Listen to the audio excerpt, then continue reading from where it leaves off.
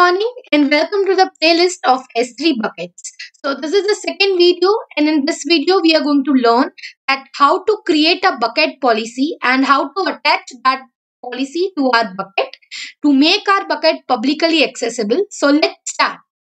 So before starting to see that how to create a bucket policy, let's talk about S3 security first of all. So we have two types of security in our S3 service. One is the user-based security and second is the resource-based security. In user-based security, we create IAM policy. So IAM policy actually provides the permissions to the particular user to access particular things right? So if you want to do that you can create IAM policy for a particular user to provide the permissions.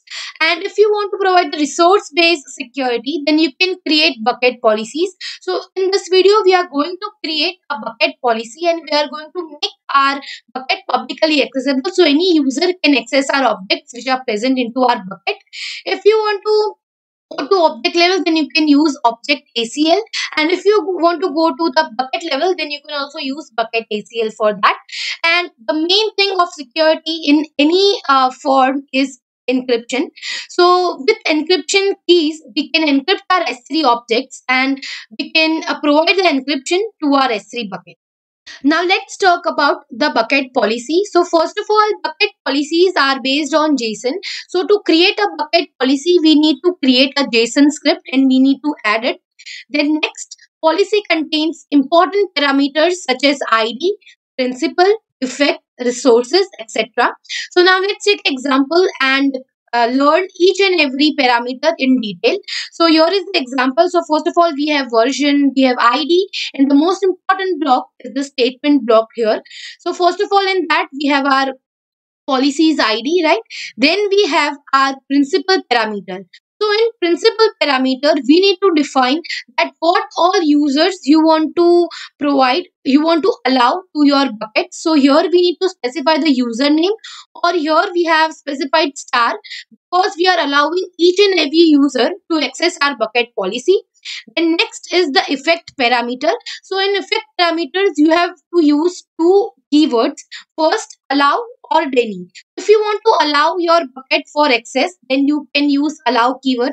And if you want to deny your access, then you can use deny keyword in the effect parameter. Then next we have the action parameter. So here we are going to define the action which we want to do on our bucket, which we want to allow on our bucket. Right? So here we have to specify the action. Then last but the most important parameter is the resource parameter.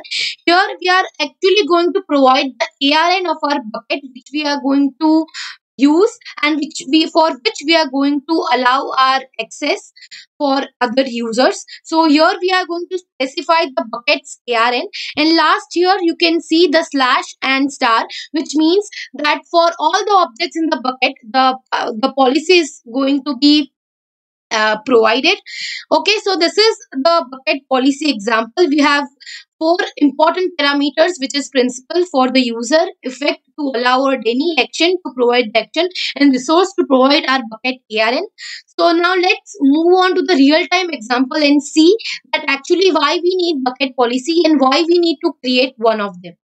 Now let's take an example of bucket policy.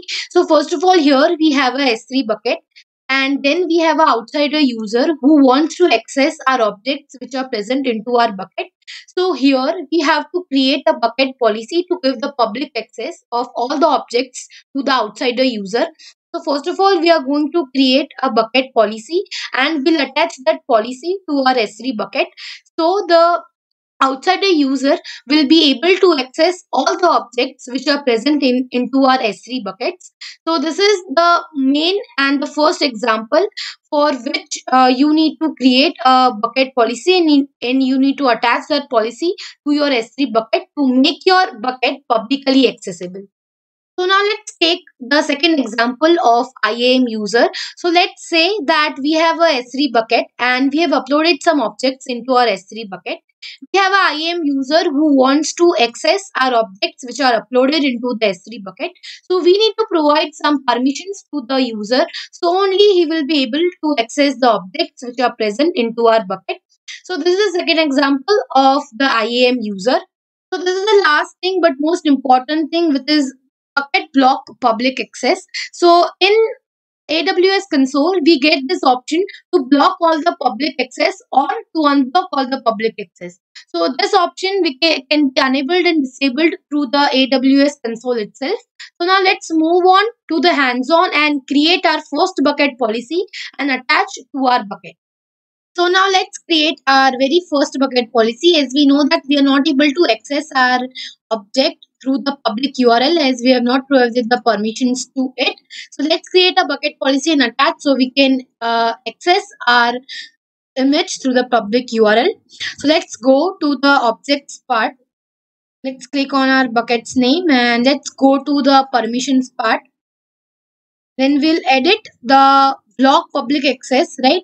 Let's edit it we'll unblock it we'll allow the public access here and we'll save the changes as it is a very uh, crucial option it will ask for the confirmation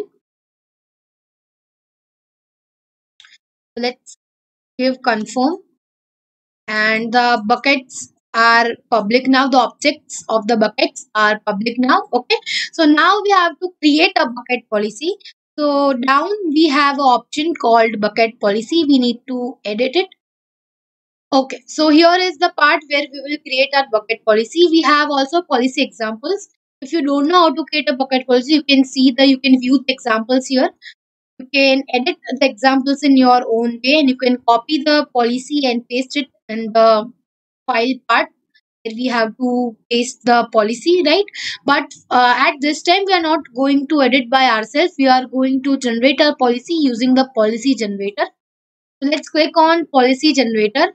And here first of all we are going to create the policy for our s3 bucket so select s3 bucket policy here in the type of policy. Then of course we are going to give effect allow. We have to allow the access. So we'll give here allow. And principal as we know that in the principal we have to specify the user. So we are going to allow every user in our bucket. So we will provide here star. Then next parameter is the actions one. So we have to provide the action which we are allowing. So we will allow the get object action. So anybody can get the object from our bucket so here is the get option. Select it. Okay done. We have selected one option one action here. Okay, last uh, but most important thing is the ARN of the bucket. So let's go to our bucket part and copy the bucket ARN from here and give the ARN here. And we'll provide slash star. So slash star means all the objects are included in our bucket. Will get the public access right? Now let's add the statement and generate our policy. Click on generate policy. So our policy is generated. We have uh, uh, allowed the action get object then effect allow and the source our arn bucket arn is uh, here and for every object and the principal is for every user. So we have generated the policy. Let's copy it and paste it on that part. This is a json format as we know now let's paste this in this policy part okay so we have pasted it and now we'll save the changes okay so we have now successfully created and attached our policy to our bucket. So you can see here now our bucket is publicly accessible. Now let's go to our public URL of the object and try to refresh it. You will be able to see the image of course. Okay, so we are able to see the image here. Yes, so we have provided the permission and we have allowed access for the public users. So only we are able to view our image here. So that's how we can create a bucket policy and we can attach it. That's it for the video. Meeting you in the next video